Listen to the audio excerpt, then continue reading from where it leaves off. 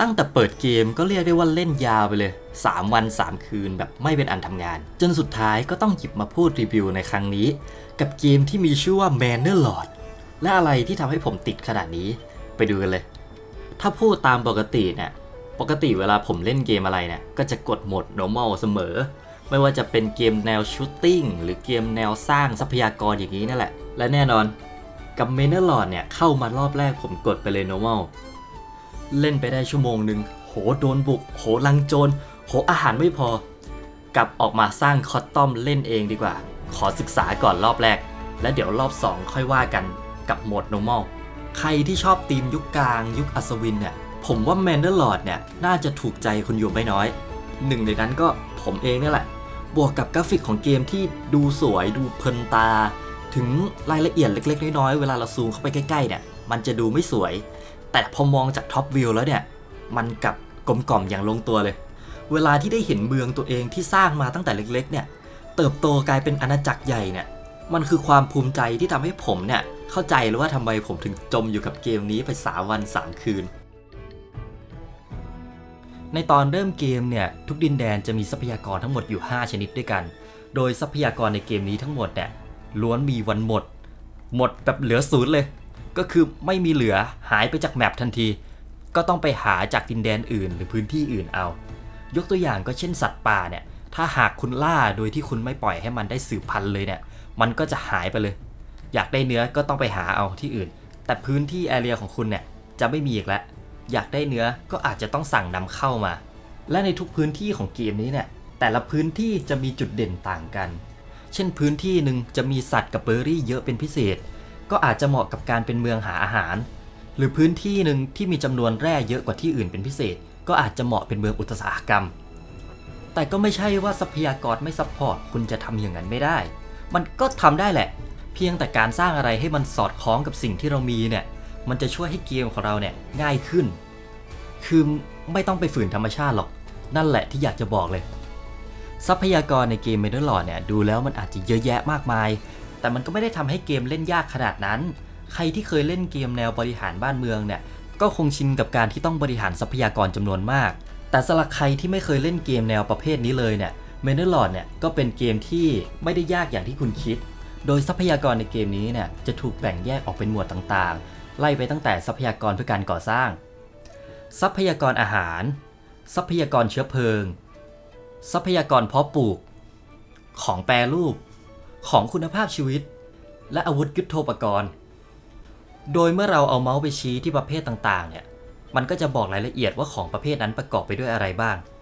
ในการสร้างอาคารของเกมนี้ ส่วนใหญ่ก็ต้องใช้ทรัพยากรก่อสร้างเพื่อสร้างอาคารขึ้นมา ถ้าของพอก็สร้างขึ้นมาได้เลย แต่หลังสร้างเสร็จคุณจะต้องสั่งให้คนของคุณเข้าไปประจำการ เพื่อทำงานในสถานที่ที่คุณสร้างขึ้นมา โดยการมอบหมายงานเนี่ยจะเป็นการมอบหมายหน้าที่ให้กับทั้งครอบครัว ย้ำว่าทั้งครอบครัวไม่ใช่แค่หนึ่งคน ฉะนั้นถ้าครอบครัวนั้นประกอบไปด้วย 4 คน ทั้ง 4 คนก็จะช่วยทำงานที่คุณมอบหมายให้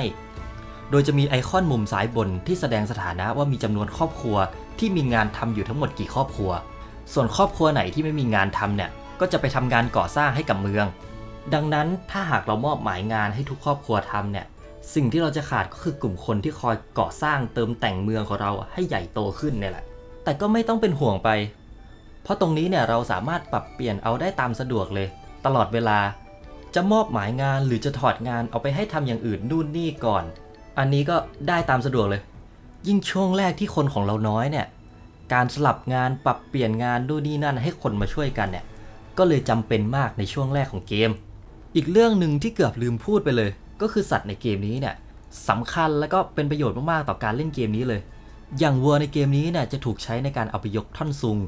ฉะนั้นถ้าหากว่าเรามีวัวหลายตัวเนี่ยการก่อสร้างของเมืองเราเนี่ยก็จะเร็วยิ่งขึ้น แต่ถ้าหากว่าวัวไม่พอเนี่ยทุกคนก็จะรอใช้วัวตัวนี้แล้วมันจะทำให้ทุกอย่างเนี่ยติดเป็นทอดๆหรือม้าที่ใช้ในการขนเกวียนสินค้า อันนี้ก็จะช่วยให้ยกของไปมาได้สะดวกสบายยิ่งขึ้น และถ้าหากคุณต้องการที่จะซื้อสัตว์เนี่ยก็แนะนำว่าให้สร้างคอกสัตว์ให้พอกับจำนวนสัตว์ที่คุณต้องการจะซื้อด้วย เพราะถ้าหากคอกสัตว์ไม่พอเนี่ยสัตว์มันอาจจะเดินหายไปได้เลย แล้วมันก็จะไม่กลับมาอีกเลย ในการสร้างอาคารบ้านเรือนเนี่ยจะต่างกับการสร้างอาคารอื่นๆ อยู่มากเลย โดยการสร้างอาคารเนี่ยเราจะได้ตีตาราง วาดไปเลยสี่เหลี่ยมช่องใหญ่ๆเนี่ยแล้วมันก็จะคำนวณออกมาว่า เอ้ย ตรงนี้เนี่ยสามารถสร้างบ้านได้กี่หลัง ก็เพิ่มลดได้ตามสะดวกเลย ขนาดของบ้านเนี่ยมันไม่ได้ส่งผลกับจำนวนไม้ที่ใช้ในการก่อสร้างหรอก แต่สิ่งที่ส่งผลก็คือจำนวนของบ้านที่สร้างนี่แหละ ถึงพื้นที่จะเท่ากัน แต่ถ้าจำนวนบ้านเนี่ยมากกว่าเนี่ย อันนี้ก็ใช้ไม้เยอะกว่า โดยจุดเด่นของ Manor Lords เนี่ยผมว่าเป็นอันนี้นี่แหละ ก็คือพื้นที่หลังบ้านหลังสร้างบ้านเสร็จแล้วนะ เราสามารถสร้างธุรกิจให้กับบ้านหลังนั้นได้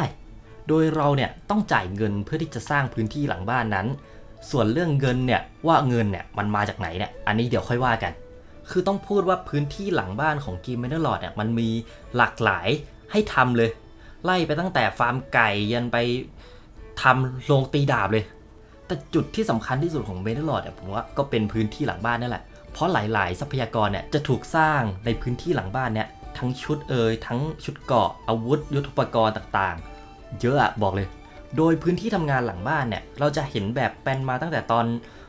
ตั้งโครงบ้านแล้วว่าเฮ้ยขนาดหลังบ้านเนี่ยมันจะใหญ่แค่ไหน ซึ่งมันก็จะมีงานบางงาน ที่เมื่อขนาดของพื้นที่ทำงานหลังบ้านเนี่ยยิ่งกว้าง มันก็จะยิ่งส่งผลดีขึ้นสองอย่างนั้นก็คือ การปลูกผักและการปลูกสวนแอปเปิลเนี่ยแหละ ส่วนนอกเหนือจากนั้นจะขนาดเล็กใหญ่ยังไง อันนี้ก็ไม่เกี่ยวแล้ว อันหนึ่งที่ทำผมพลาดที่สุดเนี่ยก็คือฟาร์มไก่เลย คือเพิ่งมารู้ตอนหลังว่าฟาร์มไก่เนี่ยมันให้ไข่แค่เดือนละฟองเท่านั้น คือไม่ว่าพื้นที่มันจะกว้างแค่ไหน จะมีครอบครัวช่วยกันทำกี่ครอบครัวเนี่ย ไก่ก็จะให้ไข่แค่ บ้านหลังละฟองเท่านั้น แต่ถึงแม้ว่าทรัพยากรบางอย่างเนี่ยมันจะดูยุ่งยากหายากเป็นปัญหาจังเลยจนแบบ เอ้ย เมืองเราเนี่ยไม่ต้องกินไข่ดีกว่า จะคิดอย่างนี้ก็ไม่ได้ อาคารบ้านเรือนทุกหลังเนี่ยสามารถที่จะอัปเกรดจากขั้น 1 ขึ้นไปขั้น 2 และจากขั้น 2 ขึ้นไปขั้น 3 ได้ และถ้าถามว่าทำไมต้องอัปเกรดบ้านจากขั้น 1 ขึ้นไปยันขั้น 2 นั่นก็เพราะว่าบ้านขั้น2เนี่ยจะผลิตเงินให้กับเราครอบครัวละ 1 บาท ย้ำว่า 1 บาทต่อครอบครัว แล้วไม่ใช่แค่นั้น แต่บ้านขั้น2เนี่ยสามารถที่จะทำธุรกิจหลังบ้านที่มันแอดวานซ์กว่าขั้น 1 ได้ อย่างบ้านขั้น1เนี่ยก็จะทำได้แค่พวกของการปลูกผัก การทำฟาร์มไก่ทำฟาร์มสัตว์เล็ก ๆ น้อยๆ แต่เมื่อไปถึงบ้านขั้น 2 แล้ว คุณจะสามารถอัพบ้านพวกนี้ให้กลายเป็นร้านต่างๆ ได้ ไม่ว่าจะเป็นร้านเสื้อผ้า ร้านรองเท้า หรือร้านอาวุธต่างๆ และเมื่ออัปเกรดให้ไปถึงบ้านขั้นที่ 3 บ้านขั้นที่ 3 จะผลิตเงินให้จำนวน 2 บาทต่อครอบครัว และยังเพิ่มจำนวนครอบครัวที่เข้าอยู่ในบ้านหลังนั้นได้ หลังละ2ครอบครัว ดังนั้นถ้าคุณสร้างบ้านให้มีบ้านเสริมขึ้นมาตั้งแต่แรก และอัปเกรดไปให้ถึงบ้านระดับ 3 มันก็จะคุ้มเอามากๆ และถ้าบ้านหลังไหนมีจำนวนครอบครัวที่อยู่ด้วยกัน มากขึ้นเท่าไหร่ก็ตาม ทุกครอบครัวที่อยู่ในบ้านหลังนั้น ก็จะมาช่วยกันทำงาน ที่เป็นธุรกิจของบ้านหลังนั้น และมันก็จะส่งผลให้ผลผลิตของบ้านหลังนั้นเนี่ยเพิ่มขึ้นสูงขึ้นตามไปด้วย โดยเงื่อนไขของการอัปเกรดบ้านแต่ละหลังเนี่ยก็คือจำนวนของทรัพยากรที่บ้านหลังนั้นต้องการเนี่ยพอหรือเปล่า โดยเงื่อนไขของทรัพยากรส่วนใหญ่ที่บ้านหลังนั้นต้องการเนี่ยก็จะเป็นพวกของอาหารที่เข้าถึงบ้านหลังนี้เนี่ยมีครบ 2 ประเภทหรือเปล่า ซึ่งในความหมายก็คือบ้านหลังนี้เนี่ยต้องการกินทั้งผักและเนื้อ หรือจะเป็นผักและไข่ก็ได้อะไรสักอย่าง ขอแค่มันครบ 2 ก็พอ และในการอัปเกรดบ้านขั้นที่3เนี่ยก็จำเป็นต้องใช้ จำนวนของความหลากหลายของอาหารที่มากขึ้นเข้าไปอีก ในเรื่องของความต้องการของบ้านแต่ละหลังเนี่ยอันนี้ก็เมื่อทำครบเนี่ยก็สามารถอัพบ้านเป็นขั้นต่อไปได้ ส่วนใหญ่ก็จะเป็นเรื่องของอาหาร เครื่องนุ่งห่ม แล้วก็การเข้าถึงโบสถ์และเพื่อที่จะทำให้ทุกคนเนี่ยเข้าถึงทรัพยากรต่างๆ ได้เนี่ยเราเลยจำเป็นจะต้องสร้างตลาด เพื่อกระจายทรัพยากรไปให้บ้านทุกหลัง โดยเมื่อเราตั้งพื้นที่ตลาดขึ้นมาในเมืองแล้วเนี่ยชาวเมืองที่มีงานหรือที่ทำงานเกี่ยวกับทรัพยากรแบบนั้นอยู่เนี่ย ก็จะเอาสินค้าของตัวเองออกมาขายที่ตลาด โดยการทำงานของตลาดเนี่ยตลาดจะกระจายสินค้าให้กับบ้านหลังที่อยู่ใกล้ตลาดที่สุด ก่อนเสมอ ถ้าบ้านหลังที่อยู่ใกล้กับตลาดมีทรัพยากรครบแล้ว บ้านหลังถัดๆไปก็จะได้ทรัพยากรตามไปเรื่อยๆ ยิ่งไกลจากตลาดเท่าไหร่ก็จะยิ่งได้ของน้อยลง แต่ในเมเนอร์ลอดเนี่ยคุณไม่จำเป็นต้องสร้างตลาดหลายจุด คุณจะมีแค่ตลาดเดียวก็ได้ ถ้าหากของหรือทรัพยากรของคุณเนี่ยมีพอกับประชาชนทุกคนที่อยู่ในเมือง โอเค แต่บางทีมันก็มีปัญหาคือของเนี่ยพอแหละ แต่มันไม่สามารถกระจายไปให้คนได้ทั่วเมือง ตรงนี้ส่วนใหญ่จะเกิดจากการที่ว่าตลาดเนี่ยเติมสินค้าไม่ทัน ดังนั้นวิธีแก้ไขก็คือการวางโกดังเก็บสินค้า หรือโกดังเก็บอาหารเนี่ยไว้ให้ใกล้กับตลาดที่สุด แล้วคนที่ทำงานอยู่ในโกดังพวกนี้เนี่ยก็ต้องไปตั้งร้านเปิดในตลาดด้วย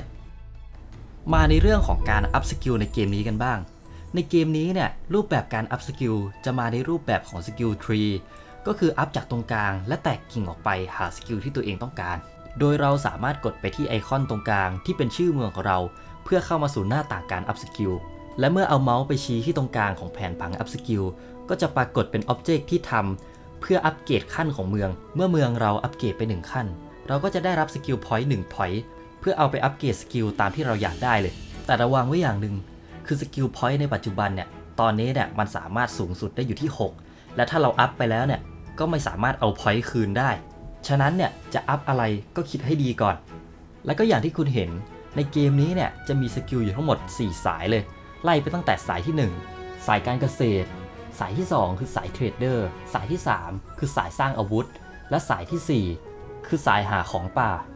ซึ่งจริง ๆ แล้วเนี่ย skill เนี่ย ผมแนะนำให้ up ตามทรัพยากรเด่นๆ ที่เรามีเลย คือถ้าพื้นที่ของเราเนี่ยเด่นในเรื่องของทรัพยากรอะไร ก็ให้ up skill มาเพื่อ support กับสิ่งที่เรามีเนี่ยแหละ ถ้าพื้นที่ของเราเนี่ยสัตว์เยอะ ก็ up ล่าสัตว์ไปเลย แล้วเนื้อของเราเนี่ยก็จะเยอะเอามากๆ หรือถ้าพื้นที่ของเรามีเหมืองแร่ขนาดใหญ่เนี่ย ก็ให้ up skill เหมืองแร่ แล้วแร่ของคุณเนี่ยก็จะขุดได้แบบแทบไม่มีวันหมด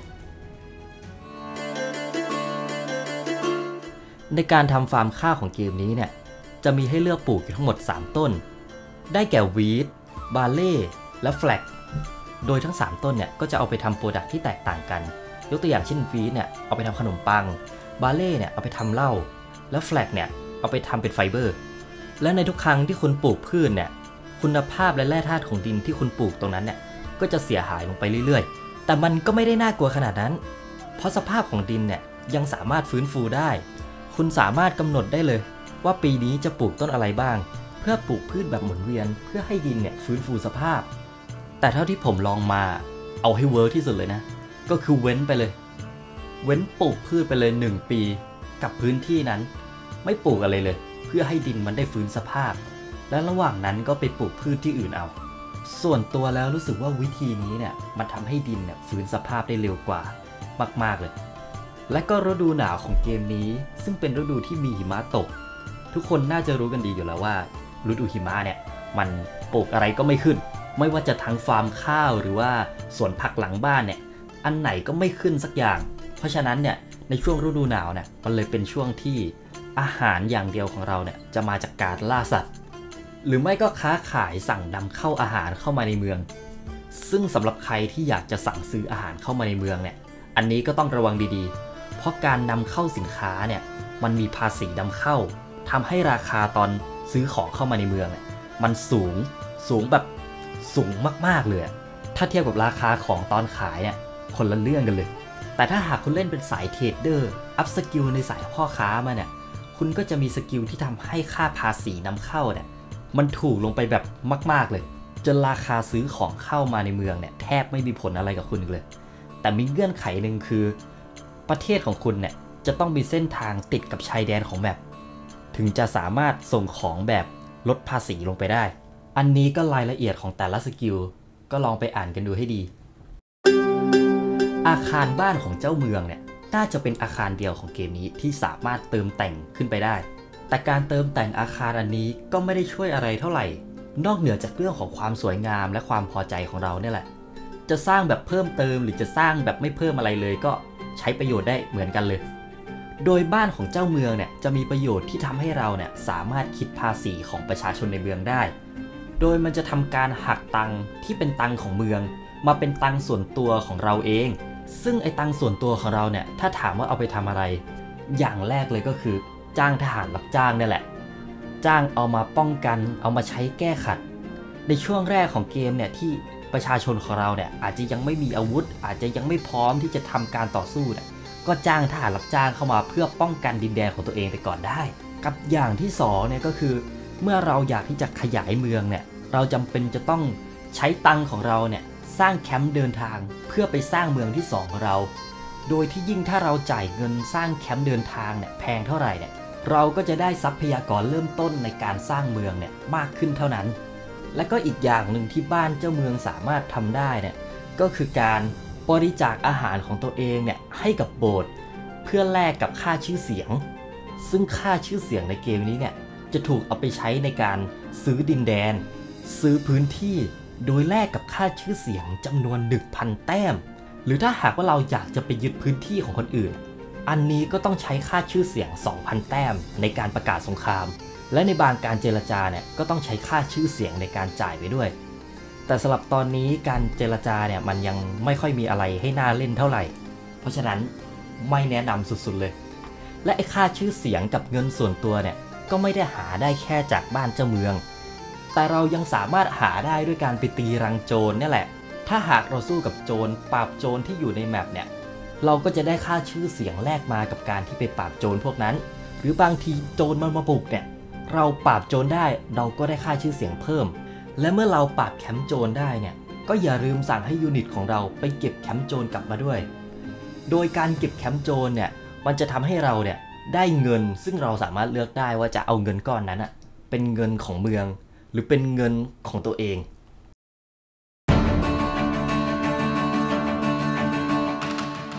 มากันถึงเรื่องของระบบคอมแบทกันละ อย่างที่ได้เห็นไปว่าเกมนี้มันไม่ได้ให้เราสร้างเมืองชิวๆขึ้นมาอย่างเดียว แต่มันยังมีศัตรูอีกมากมายทั้งกองโจร รวมไปถึงประเทศเพื่อนบ้านที่อยากจะมารุกรานเรา ใครที่เคยเล่นเกมแนว Total War มาก็น่าจะคุ้นชินกับระบบ combat ของเกมนี้ เพราะระบบการคุม unit เนี่ยเหมือนกันเลย เพียงแต่ทำให้มันเล็กลงมาหน่อย แต่ถ้าให้เทียบกับ Total War แล้ว เกมนี้มันก็ยังสู้ได้ไม่สนุกเท่ากับเกมนั้น แต่มันก็พยายามดีที่สุดในตัวของมันและ ด้วยความที่รูปแบบของเกมมันเป็นแบบนี้ part ของการต่อสู้ก็เลยไม่ได้โดดเด่นอะไรมาก unit บางกองก็ยังขาดความ balance แต่ทางทีมงานก็พยายามปรับ balance ของเกมในทุกๆอัปเดต การสร้าง unit ทหารขึ้นมาผมคงไม่ต้องพูดลึกอยู่แล้ว เพราะมันก็คือการเกณฑ์ชาวบ้านของเราเนี่ย ถ้ามีอาวุธพร้อม มีคนพร้อมก็มาเป็นทหารได้เลย แล้วเราก็สามารถใช้กองทหารของเราผสมกับกองทหารรับจ้าง สร้างเป็นกองทัพที่ใหญ่ขึ้นได้ ทุก unit ทหารจะถูกแบ่งแยกเป็นแต่ละทัพ โดยแต่ละทัพเนี่ยจะสามารถจัดเรียงวิธีการยืนได้หลากหลายแล้วแต่เราเลย ถ้าเราใช้พื้นที่ให้เป็นประโยชน์ วางทัพให้ดีเนี่ยต่อให้จำนวนน้อยกว่า ก็สามารถชนะศัตรูได้เหมือนกัน แล้วพวกชาวบ้านที่เราเกณฑ์มาให้เป็นทหารเนี่ยไม่ใช่ว่าเขาจะเป็นทหารไปตลอด เราสามารถสั่งให้เขากลับไปใช้ชีวิตปกติได้ตลอดเวลา แล้วพอจะสู้รบก็ค่อยสั่งให้เขาหยิบดาบหยิบชุดเกาะ แล้ววิ่งออกจากบ้านมา ได้ตลอดเวลาเลย ซึ่งส่วนใหญ่เหตุผลที่จะทำให้เราต้องใช้กองทหารเนี่ยก็คือการป้องกันดินแดนตัวเอง การปราบกองโจร หรือการประกาศสงครามเพื่อยึดดินแดน เพื่อที่จะขยายเมืองของเราเนี่ยแหละ และการสู้รบทุกครั้งเนี่ยมักจะทิ้งศพไว้ให้เสมอ ถ้าหากศพนั้นไม่ได้อยู่ในดินแดนเรา มันก็ไม่ได้มีปัญหาอะไร แต่ถ้าหากอยู่ในดินแดนของเราขึ้นมา ชาวเมืองของเราก็จะเริ่มบ่น ไม่ว่านั้นจะเป็นศพของพวกเดียวกัน หรือเป็นศพของศัตรู ฉะนั้นเราก็ต้องจัดการแก้ปัญหาพวกนี้ สร้างหลุมฝังศพและหาสักครอบครัวมาดูแลเรื่องนี้ ก็จะช่วยให้ปัญหานี้หายไป แม้ว่าตอนนี้เกม m e n o l o r d จะยังอยู่ในช่วงของ Early Access แต่มันก็ยังมีคอนเทนต์อีกหลายหลายอย่างที่สนุกและเพลิดเพลินไปได้หลายชั่วโมงเลย แม้ว่าบางทีเราจะยังรู้สึกว่ามันขาดอะไรไปบ้าง เอ้ย อันนี้ถ้ามีก็คงดีนะ แต่ตอนนี้ตัวเกมก็ยังเป็นแค่ Early Access และทางทีมงานเองก็ยังอัปเดตเกมนี้อยู่เรื่อยๆ แล้วอดไม่ได้ที่จะสงสัย ว่าเกมนี้เนี่ยในอนาคตจะเป็นยังไง จะมีคอนเทนต์อะไรที่น่าสนใจเพิ่มขึ้นมาอีก แต่สำหรับตอนนี้กับ b a n n e r l o r d ก็คงหมดลงเพียงเท่านี้ และเจอกันใหม่ในคลิปวิดีโอต่อไปว่าจะเป็นเกมอะไร สวัสดีครับ